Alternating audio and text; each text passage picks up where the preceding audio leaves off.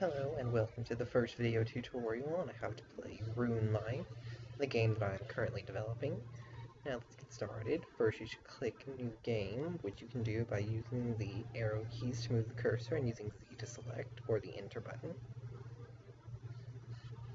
At the beginning there's a simple tutorial on how to use the controls.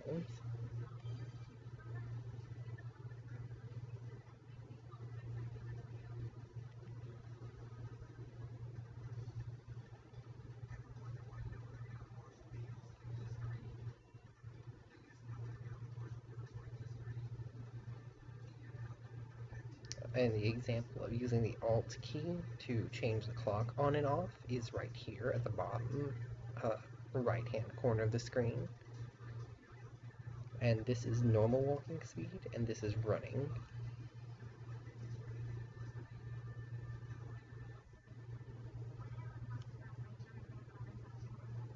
Now we're going to continue into the next room.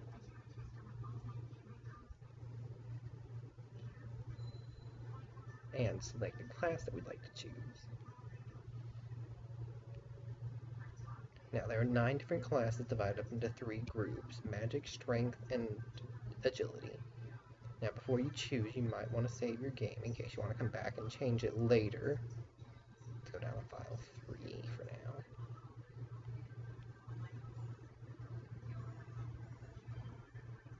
Now, I like to choose the magic because, you know, I'm a magic nerd. I love the idea of it. And, of course, I'd like to be a battle mage because it just seems better. I happen to like that class more than the others. And you don't ever want to forget to take the equipment from these chests because it's the first equipment you get. And even though it's kind of sucky, it's good for starting equipment. And you can sell it later once you make your own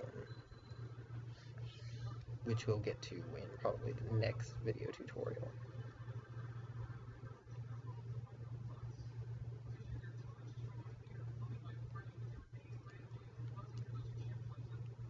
And next we're going to choose our character's look. There's six looks in total, three male and three female looks you can go with. It all depends on your preference.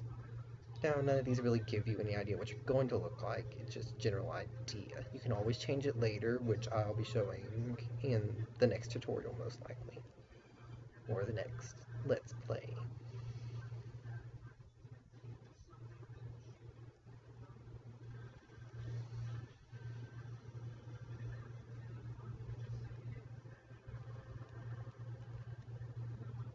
And the next thing that we're going to be doing is creating the name for our character, which is pretty simple. It can be anything you like.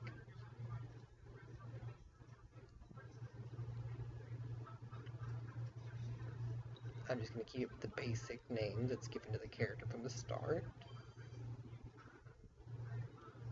And you can really choose any of these because you can be any kind of person you want to be even though your class may make you want to choose a certain one you can always steal things, or, you know, focus on fighting, or the puzzle solving aspect of things. I'm just going to choose Mystic Apprentice because I like it the best.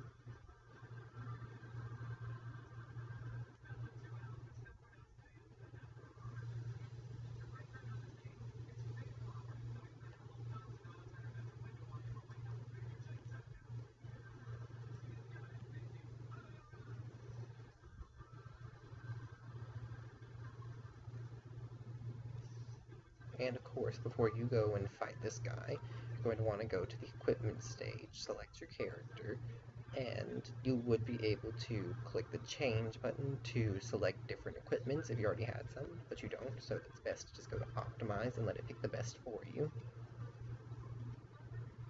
And let's see, right now you only have one item that's going to be used in this battle. So go up and talk to this thing and engage it. And right now you don't have any special skills or anything, no matter what class you choose, so it's best to just keep attacking it.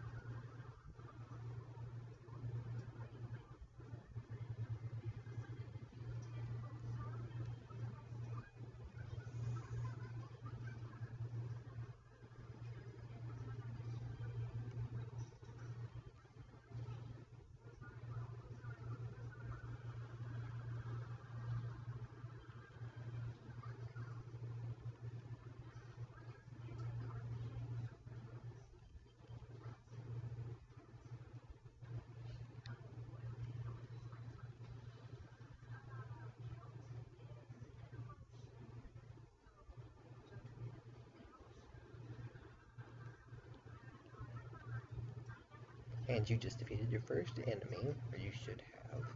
I've known a couple things where people have lost, but not to worry. I've fixed that for most of the time. And now you go speak and say goodbye to your friend.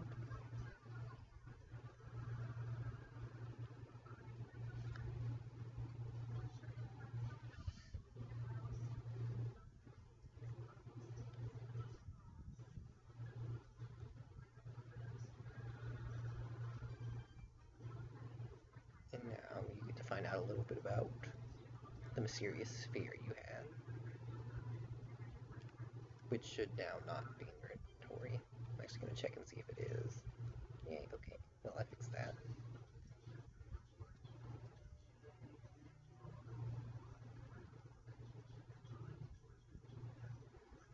Then talk to this guy before you leave. It'll give you a little information about what's going to happen, or what happens to you.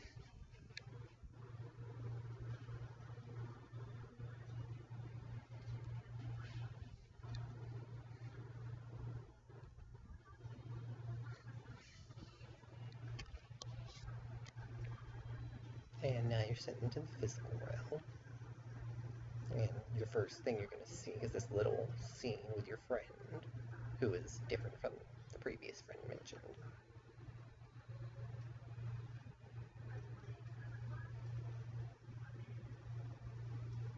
And it takes a little while for them to walk, but lets you get a nice feel for what the game's like. You can see the little waterfalls over there in the tent.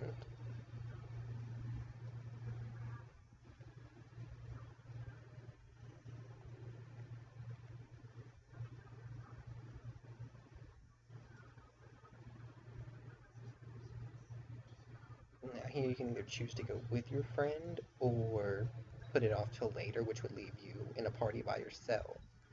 I'm going to go and click the Let's Go See Him option, which will make your friend join your party right away. And now, of course, you pick your name for your best friend. The name was originally going to be Kayla from the beginning, but there were some technical difficulties with it renaming her different names whenever people wanted to say a different name, so I just made it blank from the start. Oh, and an important thing for later, don't forget you can use the key items to look for important information that will come into play later. I'll go ahead and show you that since it put it up there. This is the training journal. It shows you what weapons and armors you and people in your party can use. And since I'm a battle mage, it says that I can use guns and swords and can do general or magic or light armor. And Kayla is trained with spears, bows, and daggers, and she can use general or light armor and small shields. And let's save that for now. And we will continue with the next video.